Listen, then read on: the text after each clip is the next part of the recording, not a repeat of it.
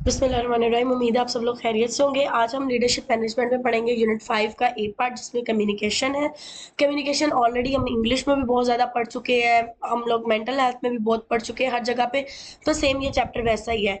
इसके फिर हम जो है अपने बेसिकली कम्युनिकेशन ज़रूरी क्यों है? क्योंकि आपकी आजकल की दुनिया का हर मसला कम्युनिकेशन से ख़त्म हो जाता है। चाहे वो बच्चों के झगड़ा हो, चाहे वो वर्क प्लेस हो, चाहे वो आपकी एडमिनिस्ट्रेशन हो हॉस्पिटल हर जगह की बात जो है वो सॉल्व आउट हो जाती है कम्युनिकेशन पे। तो आज हम पढ़ेंगे कि प्रिंसिपल्स कौन से कम्युनिकेशन के बेसिक फॉर्मल और इनफॉर्मल चैनल्स कौन से कम्युनिकेशन के ऑर्गेनाइजेशनल इंटरपर्सनल कम्युनिकेशन क्या होती है डिफरेंट डायरेक्शंस क्या है कम्युनिकेशन की कम्युनिकेशन के डिफरेंट मोड्स क्या और कौन कौन से फैक्टर्स कम्युनिकेशन को इफ़ेक्ट करते हैं और कम्युनिकेशन का क्या रोल है लीडरशिप में। तो आपके बेसिक प्रिंसिपल्स जो है, वो आप लोगों को है सेवन प्रिंसिपल्स है कंप्लीट के। जब भी आपने बात करनी है, वो फैक्ट बेस हो। क्लियर हो मतलब आप कई बार हम बात करते हैं, जैसे छोटे बच्चे बात करते हैं, वो इधर से आया, इधर गया, ये हुआ तो वो क्लियर नहीं होती। लेकिन जब बड़े बात करते हैं, वो क्लियर होती कि भाई यहाँ से शुरू हुई, यहाँ पे खत्म। तो आपने भी वैसे क्लैरिटी से करनी है कौन साइज़ छोटी बात हो, क्योंकि ज़्यादा लंबी बात हो तो कोई भी इंटरेस्टेड नहीं होता है। कर्टसी हो कर्टसी मतलब पोलाइट मैनर में हो, अगर कोई आपसे चीख के या रूडली बात करे तो आप भी नहीं सुनते हैं। तो यही इनके बेसिक प्रिंसिपल्स है। करेक्ट सारी बातें, जितनी भी इंफॉर्मेशन आपने पास करनी है, उसमें सही तलफ़ हो, सही बातचीत हो सही तरीका हो सही ढंग हो। जैसे कई बार आप कहते हैं बात उसकी ठीक थी, लेकिन तरीका गलत था तो उसे हम करेक्टनेस कहते हैं। कंक्रीट कहते हैं कि फैक्ट बेस्ड बात हो। कोई भी बात आपने ऐसे आके नहीं कर दे जब आप इसी तरह कोई भी बात कर देते हैं तो आपको कोई भी नहीं सुनता है। तो आपको पता हो कि आपकी बात में वज़न होना चाहिए और कंसिड्रेशन इस तरह की बात हो कि जिसमें आप अपनी बात, अपने सेंटिमेंटल समझा सको दूसरों को। मतलब आप जब किसी सब के पास अफसोस करने जाते हो तो आप अपनी बॉडी लैंग्वेज भी वैसी करते हो और अपने वर्ड्स को भी बहुत सोच के बोलते हो। अगर आप उनके सामने हंसने लग जाओ तो वो कंसिडर नहीं करेंगे आपके जितने भी सेंटिमेंट्स हैं आपके इमोशन को। तो सेवन सीज आपने याद रखने हैं कि कम्युनिकेशन में कंप्लीट हो क्लैरिटी हो कंसाइज हो कर्टसी हो करेक्ट हो कंक्रीट और कंसिडरेशन हो। ये मैंने दोबारा इसमें एग्जाम्पल्स के साथ लिख दिया। क्लैरिटी क्या है कि सोच भी अच्छी हो वर्ड्स भी सही हो डेफिनेट हो।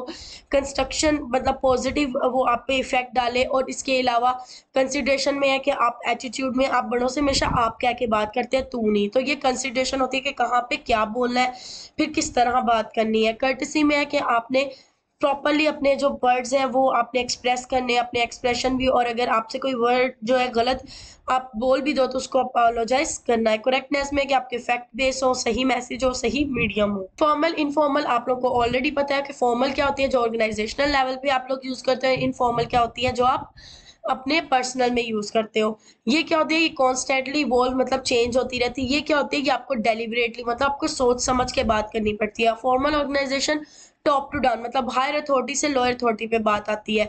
जबकि ये डायनामिक और रिस्पॉन्सिव होती है कि मतलब आप किसी भी टाइम कुछ भी बोल देते हो, ये एक्सीलेंट एट मोटिवेशन मोटिवेशन के लिए अच्छी होती है, लेकिन ये फिक्स होती है कि जब, जहाँ पे आपको भी पता है, जब आपकी मीटिंग्स होती हैं फिक्स टाइम पे होती है।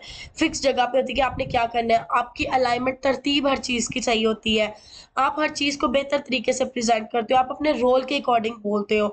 आप bound together by confident rule मतलब आपके जो भी रूल्स रेगुलेशन होते हैं, आपको उसके अंदर रह के बोलना होता है, ये सब चीज़ें आप फेस करते हो, कहाँ पे? जब स्कूल में होते हो, जब कॉलेज में होते हो, जब इंस्टीट्यूट में होते हो हॉस्पिटल में होते हो, जबकि ये सारी चीज़ें आपकी आपस में घर वाली बातचीत जो होती है ट्रस्ट बेस होती है डिसीज़न मेकिंग होती है कलेक्टिव कोई भी पार्टिसिपेट करते हैं और सिचुएशन बेस होती है तो इनफॉर्मल वो होती है जो आपकी पर्सनल लाइफ में यूज़ होती हैं और फॉर्मल होती है जो आपकी ऑर्गेनाइजेशनल लेवल पे यूज़ होती हैं। Importance of work place work place communication की क्या इंपॉर्टेंस है? वर्क प्लेस कम्युनिकेशन की इंपॉर्टेंस ये है कि ये टीम वर्किंग को इनहेंस करता है और आपके अंदर प्रोफेशनलिज्म को बढ़ाता है।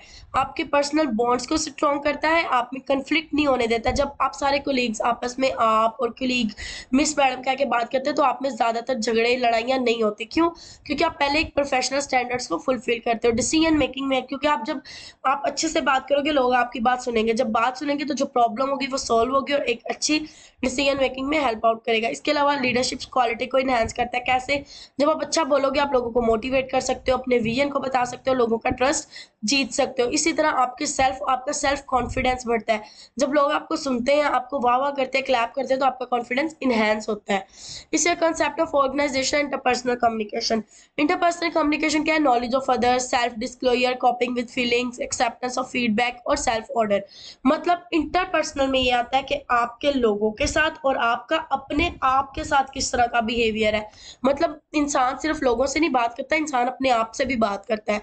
और इंसान जब अपने आप से बात करता है तो उसको पता होना चाहिए कि अपने आप को भी ज़्यादा नेगेटिव थॉट्स नहीं देनी पॉजिटिव थॉट्स देनी है कि अपने आप से सेल्फ कितना दूसरों को अपने बारे में बताना है, कितना अपना नॉलेज शेयर करना है, अपनी फीलिंग्स को किस तरह आपने कोप करना है, किस तरह फीडबैक देना है किस तरह लोगों का फीडबैक एक्सेप्ट करना है और कितनी ट्रांसपेरेंसी आपने ट्रांसपेरेंसी का मतलब होता है कि आप, कुछ लोग होते हैं, कहते हैं, मैं ऐसी ही हूँ, जैसी मैं दिखा रही हूँ, मैं वैसी ही हूँ और कुछ लोग कहते हैं, नहीं, मैं लोगों के सामने और हूँ तो इसको ट्रांसपेरेंसी कहते हैं कि आप लोगों को कितना अपने आप के बारे में हंड्रेड परसेंट फिफ्टी परसेंट कितना शो कराते हैं ऑर्गेनाइजेशनल इफेक्टिवनेस में आता है कि आप ऑर्गेनाइजेशन करते हो।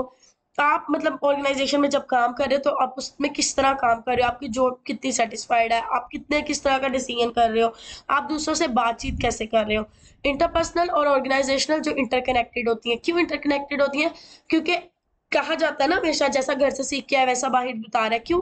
क्योंकि वो आपका इंटरपर्सनल इन्वायरमेंट होता है, जो आपका ऑर्गेनाइजेशनल इन्वायरमेंट को साथ डिस्टर्ब कर रहा होता है तो ये दोनों चीज़ आपस में इंटरकनेक्टेड है। Formal communication are those which flow through the formal established channel जैसे कि आपके फॉर्मल चैनल्स कौन से हैं, आपके इंस्टीट्यूट है, जो मैंने अभी बताया इनफॉर्मल्स वो होते हैं, जिसमें आपकी और the grapevine is commonly known है flows through the structureless networking less networking का मतलब है जो आपकी ऑर्गेनाइजेशन के साथ बिल्डअप नहीं होते, आपके दोस्तों की कंपनी आपके आपस एम्प्लॉयमेंट्स एम्प्लॉयज़ का रिलेशन आपके बाहर रिलेशन आपके घर में रिलेशन और इन्हीं बेस पे उन्होंने तीन मोड्स बनाए हैं, आपकी डाउनवर्ड कम्युनिकेशन अपवर्ड और ओरिजेंटल डाउनवर्ड कम्युनिकेशन क्या है? अपवर्ड से डाउनवर्ड मतलब कि आपको सीईओ बात बताता है किसको? आपकी प्रिंसिपल को। प्रिंसिपल आगे वाइस प्रिंसिपल को। वाइस प्रिंसिपल आगे कोऑर्डिनेटर को। कोऑर्डिनेटर आगे टीचर को। टीचर आगे स्टूडेंट्स को तो इसे कहते हैं डाउनवर्ड के ऊपर से नीचे की तरफ़ आना।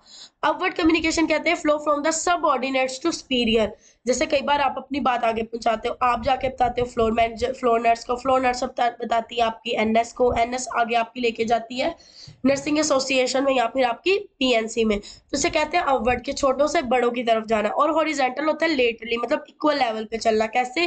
Refers to the communication across the subordinate who are working at the same levels आप आपस में कुलीग जो एक दूसरे के साथ इंफॉर्मेशन एक्सचेंज करते हैं, उसे हॉरिजेंटल कहते हैं कि एक लेवल पे चेंज हो रहा है, जैसे ये जैसे ये आपका। मोड ऑफ़ कम्युनिकेशन में क्या है? मोड ऑफ़ कम्युनिकेशन में वर्बल है नॉन वर्बल है रिटर्न है विजुअल है, ये आप लोग ऑलरेडी बहुत अच्छे से जानते हो। वर्बल वो है जो हम बातचीत करते हैं। जैसे लेक्चर है प्रेजेंटेशन है मीटिंग्स है पैनल डिस्कशन है सिंपोजियम है सेमिनार्स है, कि आप लोगों को बोल के अपनी चीज़ बताते हो। नॉन वर्बल वो होता है, जिसमें आप अपनी बॉडी पोजिशन से जैसे आप किसी को हाथ लाओ तो उसको पता होता है, या तो ये बुला रहा है, या ये हाई कर रहा है। आप अपने कंधों को झटका दो तो लोगों को पता है मुझे क्या परवाह हो? आप अपने आईब्रोज किस तरह करो तो लोगों को समझ आता है कि आपको गुस्सा आ रहा है। तो नॉन वर्बल जो आपकी बॉडी पोस्टर होता है, आप चेयर थोड़ी सी खींच के आगे करो तो उसको समझ आ रहा था कि ये मेरी तरफ़ अटेंटिव हो रहा है। तो आपकी बॉडी पोस्टर जब चीज़ों को शो करते हैं तो आपके पास क्या होते हैं? नॉन वर्बल रिटर्न होते हैं, जैसे आपके पम्फलेट्स लगे लगे होते हैं बड़े बड़े बुलेटिन लगे होते हैं, आपके डिफरेंट आपके घरों में लोग पेपर फेंक जाते हैं तो ये सारी चीज़ों के ऊपर चीज़ें लिखी होती है और लिखने से आपको समझ आ जाता है। वीडियो जो दिखाई जाती है, जैसे आपको मूवीज़ दिखाई जाती है मूवी से आप लोग बड़ा सबक लेते हो, आप रोल प्ले से सबक लेते हो फ़ंक्शन होते हैं एक्टिंग होती है ड्रामाज होते हैं तो उससे आप कुछ ना कुछ देख के सीखते हो तो वो विजुअल्स होती है।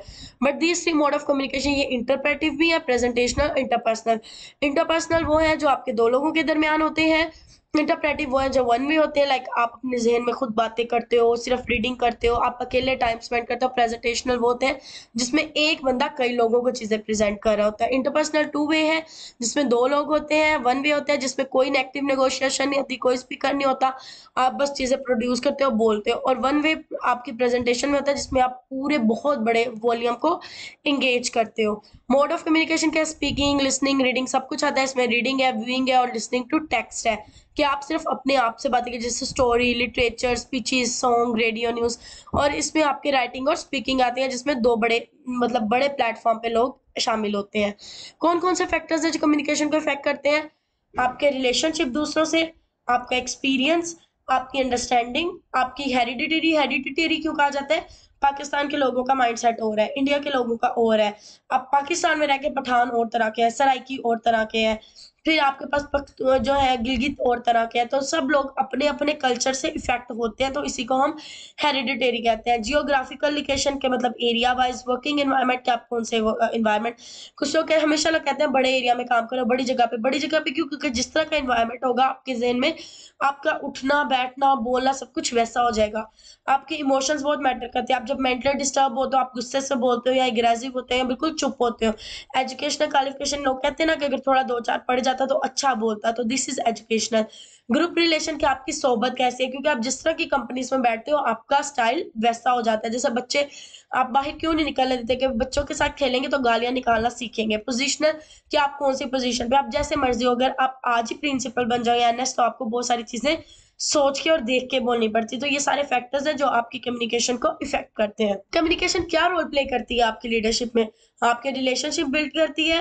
आपको टीम को इकट्ठा करती है, जैसे इमरान खान है, उसके कितना अच्छा मतलब पूरी दुनिया उसको फॉलो कर रही है, वो मोटिवेट करता है, उसके बारे में फीडबैक देता है, आपके कॉन्फ्लिक्ट्स को रिजोल्व करने में हेल्प आउट मिलता है और आपको, आप एक लीडिंग एग्ज़ाम्पल बन जाते हैं कि उसके जैसा बनो, आपकी कोऑर्डिनेशन की बेस होता है, आपके स्मूथ वर्किंग की बेस बनता है, आपकी डिसीज़न मेकिंग की बेस बनता है मैनेजर एफिशिएंसी आपकी मैनेजमेंट को एफिशिएंट बनाने में हेल्प आउट करता है, आपकी कॉपरेशन को प्रमोट करता है लीडरशिप को बेहतर करता है मोटिवेशन को बढ़ाता है ट्रेनिंग में हेल्प आउट करता है और साथ आपके पब्लिक रिलेशनशिप को बेस्ट करता है।